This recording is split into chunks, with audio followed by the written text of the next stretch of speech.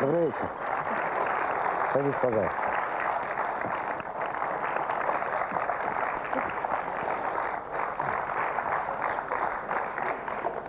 Ну ничего про Золушку, по-моему, похоже Ничего, на ничего, ничего. жизнь. Ну так и было, ведь, правда? Да, так. Там, правда, не были, там, правда, не, было- не было волшебников, там вы сделали все сами, насколько я знаю, Да, и принца не было, к сожалению. к сожалению. Значит, и так однажды вы входите уже здесь, в Москве, в подъезд, и там, как всегда, стоят какие-то люди. Вас всегда ждут, да, после концертов? Практически, да. Да. Вы, для вас это привычно. Это хорошо или плохо? Хорошо, Хорошо, что ждут? конечно. Вам нравится дать автографы, да? Это такая форма того, что... Признание того, что вы нужны кому-то. Наверное, да, потому что все-таки, когда человека кто-то ждет, с хорошими, добрыми глазами, неважно как, всегда приятно, Да? правда? Даже, даже при том, что это восторженный стих ограничивается, дайте автограф, Танечка, какая вы замечательная. Все равно приятно. Конечно, приятно. И не надоедает. Нет, Отлично. Значит, в тот вечер вы пришли, так, раз, так, хоп. и там стоит, как в песне Агучина, парень не похожий на меня, не похожий на тебя, да? Ну, где-то так. Вот такую маленькую историю я расскажу. В один из зимних, как в сказке. Да. Ну раз мы начали с того, что это сказки зимних сегодня. вечеров, возвращаясь с прогулки со своей любимой собакой, которую зовут Ника, такая огромная, пушистая.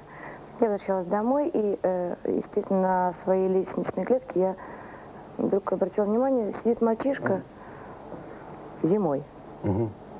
в тепленькой рубашечке такой фланелевой, в клеточку. Помнишь? Клеточку. И привет. Я говорю, привет. Говорит, Таня, не могла бы мне дать автограф? Конечно, могла бы.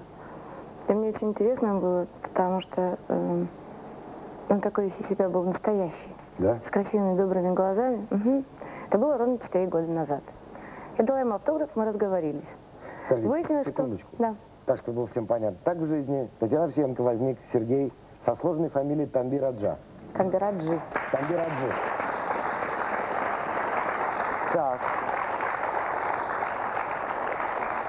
Мы разговорились, выяснили, что мы соседи, Мгм. и что у него тоже есть собака, что он тоже любит свою собаку и тоже гуляет по вечерам, и часто мы встречались.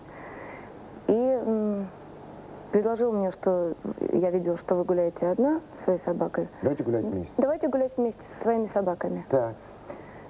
Так и произошло. Мы стали встречаться, потом он мне э, предложил помочь собака, потому что у него маленькая собачка, у меня большая. Мгм. И я не всегда в зимние вечера, когда скользко, особенно на дорогах, э, не смогла ее удержать, потому что она как только рванется вперед, и я, естественно, могла упасть. То есть это была такая добрая услуга, и э, м, я согласилась на это. В следующий вечер мы гуляли уже вместе. Мгм.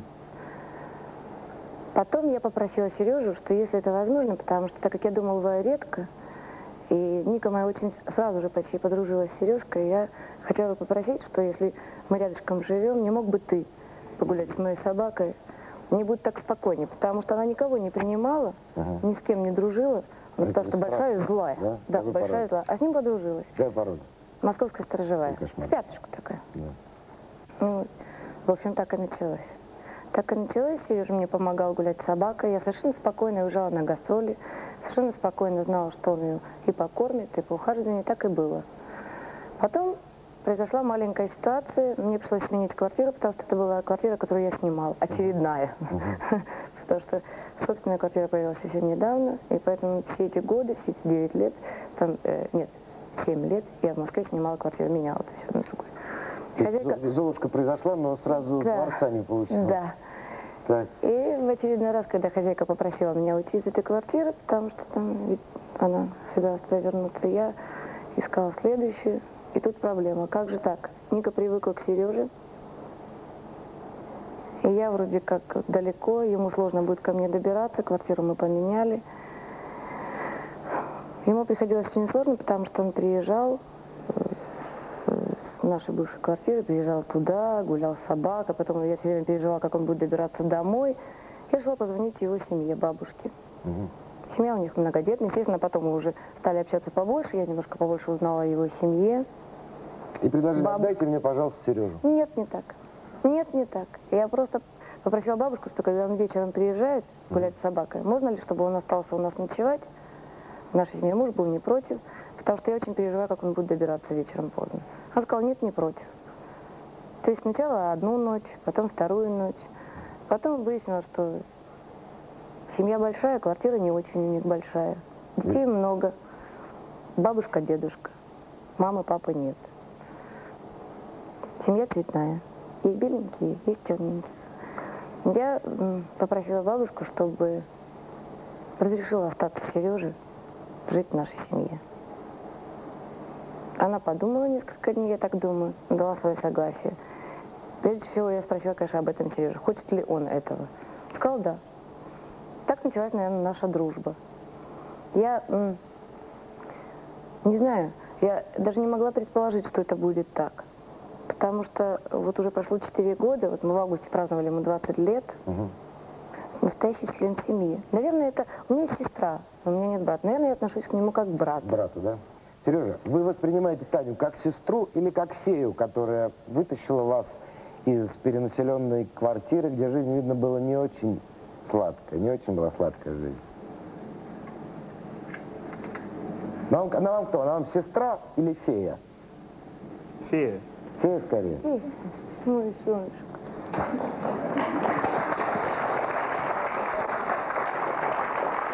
Я, знаете, мне могу поделиться. У Сережи сегодня первый такой эфир. Первый. И я бы хотела сразу сказать, что он наверняка очень сильно волнуется.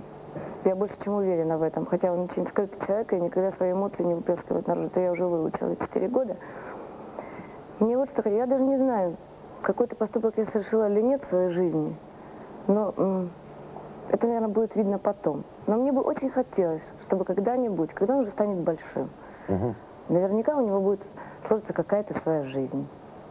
Какую-то часть, наверное, все-таки в судьбе его я, я буду понимать, потому что я очень переживаю за него. Он станет большим, наверняка у него будет своя семья, свои дети.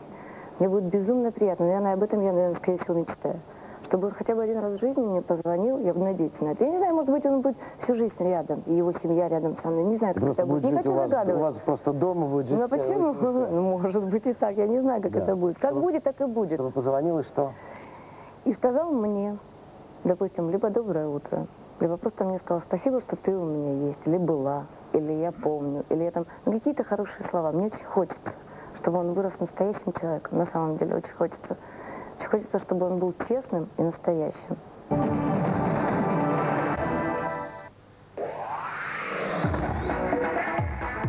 Юный темнокожий поклонник, которого певица Татьяна Овсиенко встретила однажды в подъезде своего дома, неожиданно стал членом ее семьи. Таня считает его своим братом, хотя воспитывает как сына.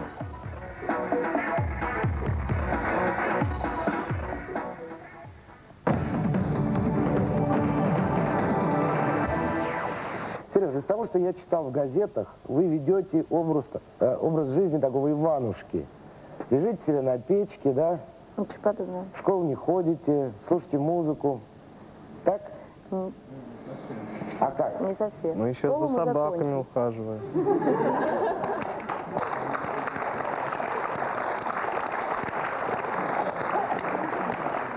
То есть вам удалось закончить школу с большим трудом, видим, потому что вы также отвечали на вопросы учителей, как на мои вопросы. Да С нет, такой же почему? готов- Нет? Нет, нет, я вам не разрешаю так говорить потому что, потому что на самом деле первый эфир это, наверное, сложно. И Сережа вообще очень мало разговаривает. Школу мы закончили. Школу мы закончили. Да, на самом деле, когда Сережа пришел, у него было незаконченное образование, потому что он вынужден был работать, чтобы каким-то образом помогать бабушке и дедушке, своим братьям и сестрам. Поэтому с образованием сначала не складывалось, но потом мы все-таки закончили. Теперь у нас другая стоит проблема, проблема выбора профессии, и в этом я ему совершенно не мешаю. Я жду, пока он чего-то решит в своей жизни, чего он захочет. Но решение пока не принято. Нет, Мы хотели всякого всего. Ну, а эстрада, музыка, нет? я не думаю об этом. То есть хотелось бы заниматься чем-то более таким земным? Не, я вообще еще не думаю. Тоже.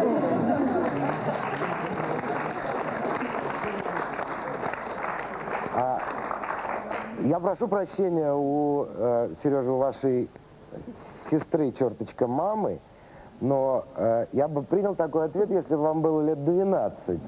Как бы в 20, в 20 лет-то уже как бы, ну, странно, да, так? Ну почему? Были же твои желания. Просто пока, пока еще это... Я вспоминаю просто себя, когда я заканчивала школу, и мама хотела, чтобы я пошла учиться туда, папа хотел, чтобы туда, я хотела что-то еще. Когда ты, Сережа, подошел ко мне и сказал, Таня, я хочу быть телохранителем. Что для этого нужно? Вы знаете, я затруднилась сказать, я не знаю, что для этого нужно. Спортом он занимается, он, то есть, Может быть, он хочет Ходил. быть вашим телохранителем. может быть, пока молчит. Не знаю. Мне не очень хочется навязывать какое-то свое мнение. Мне не очень хочется участвовать в его такой жизни, потому что все-таки он должен решить для себя сам, кем он хочет быть. Может быть, он мне завтра придет и скажет, извини, я уйду домой. Подождите, а может быть, вот вы взяли на себя ответственность за него, правда? Да, конечно.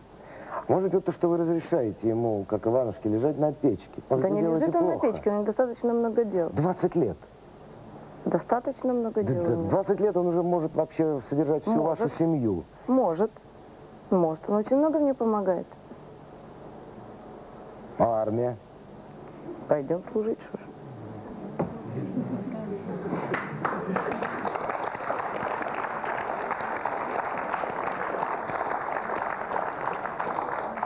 Есть ли какая-то точка отсчета для вас из тех, кто пели в этой стране раньше? Я не хочу, я не спрашиваю, на кого вам хотелось быть похожей. Это ни на кого, я надеюсь. Да? Это нормально для творческого человека. Хотеть быть ни, ни на кого не похожим. Но Но все-таки мне- назовите, назовите хоть одно имя женское, да, певицы, которое служит для вас точкой отсчета, и вы понимаете, да, вот она работала так, как я бы хотел работать, или работать лучше, чем она. Да, у меня есть человек, только это не точка отчета. Она пока еще жива, здорова, работает, великолепная артистка, актриса. Она не совсем певица, она не только певица, Ага. она актриса. А кто же? Это Людмила Гурченко. Обожаю. Очень хочу быть на нее похожа. Вы и Гурченко – это одна сфера искусства? Или это какая-то, или то, что вы делаете, это что-то другое? Совершенно другое. другое, да? Конечно. Я говорю не про направление в музыке, а как бы вот вид творчества. Ну, где-то, конечно, потому что твор... есть единая нить, это вот то, что вы называете творчеством. Оно Мгм. может быть разным, но, наверное, есть какая-то маленькая связь, или, может быть, тоненькая связь между творчеством актрисы, певицы, человека или, и просто певицы. Потому что, естественно, актрисой я себя не считаю. А был ли случай хоть раз, когда бы вы отказались от песни, потому что решили, что слова ее не по... Не трогает, не да. настоящих. Бывает, конечно, бывает. Когда тебя ничего не трогает, то я так думаю, что не тронет тех людей, которые приходят на мои Даже, концерты. даже если эта песня написана не, не начинающим поэтом, композитором, а приносит ее кто-то из... э, Великих? из да, великих. конечно. А почему? А зачем врать? Из этого ничего не получится, если я ее не чувствую. Если я ее не чувствую и пойму, что я, я ее буду делать, потому что мне неудобно отказать кому-то, или... нет, так не бывает. Даже при, том- при всех разговорах, как сложно вот там, на эстраде, какой-то несправедливый мир, как там все, значит...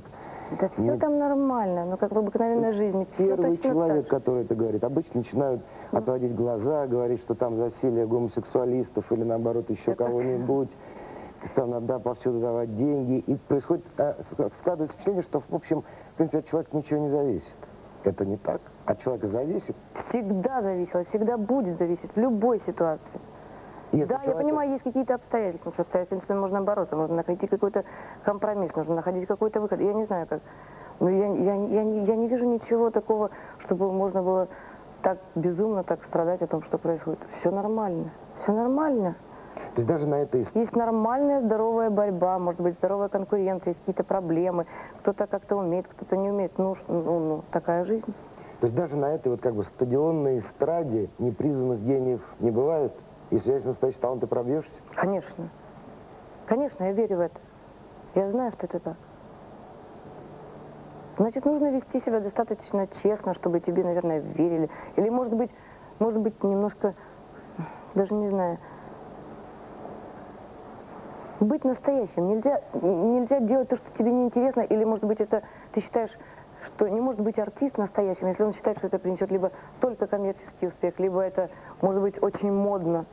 Если он не, не болеет этой болезнью, то есть не обожает свою работу, он очень быстро уходит. Очень быстро. А если есть какая-то любовь, то человек, когда выходит на сцену, то есть он безумно счастлив. И хочется каждую минуту, каждую секунду нести радость, а она есть в выражении песни. То есть точно так же, как ты говоришь. Угу. Точно так же, как признание в любви. Ты можешь говорить его э, по-честному, а можешь говорить не по-честному. Просто как наигранно. Ну да, ну люблю, ну целую, ну пока. Можно говорить по-честному. Вот точно так же. Когда ты выходишь, и ты работаешь, и ты получаешь большое удовольствие от звука и от качества. А все остальное дело, дело твоей одаренности. А насколько ну, ты... На, наверное, насколько ты можешь быть артистом. Насколько тебя принимают люди. Нужно все делать то, что ты хочешь, то, что ты считаешь, что ты можешь по-настоящему это дать, по-честному. Вам... Не юли. Не юлить, и все будет нормально. Вам была дана привилегия вот так прожить, э, пропеть? Нет, мне было нелегко. У меня было очень много сложностей и трудностей. Да, они, наверное, и сейчас есть. Почему я... Все бывает. Но Я не знаю, я, наверное, оптимист. Мне все нравится. Мне все нравится. Я просыпаюсь и улыбаюсь, какая погода не происходила, что бы ни происходило в этой жизни. Я знаю, что все возможно изменить. Все зависит от человеческого настроения и от чувства. Да, я понимаю, что сейчас сложно, сейчас люди стали намного... Э, ну, не могу сказать, что злее, нельзя такие вещи говорить, потому что ну, намного мало улыбаются, мало настроение хорошее. Я все это понимаю. Я понимаю, что жизнь такая. Я понимаю, но она была всегда такой, всегда были свои сложности. Но жизнь, должны мы ее любить, обязаны. И если есть возможность бороться с какими-то обстоятельствами, которые мешают тебе быть счастливым человеком. Я умею бороться с теми какими-то, ну, я понимаю, бывают всякие ситуации. Но все это победимо, все. Все зависит от человека, от его силы воли, от его настроения. Нужно любить жизнь, она есть. Ее нужно ценить, беречь, мне так кажется. Давайте предположим, что Сережа еще лет 5, 7, 10 не сделает свой выбор. Сделает. Сделает, я помогу ему. Сделает. Я постараюсь сделать так, чтобы он понял, что это необходимо. Спасибо большое. Теперь вы знаете, что есть много глаз, которые будут за вами наблюдать, как, не просто как за многими любимой певицей, но и как за сестрой-мамой. Спасибо вам большое. Стараться.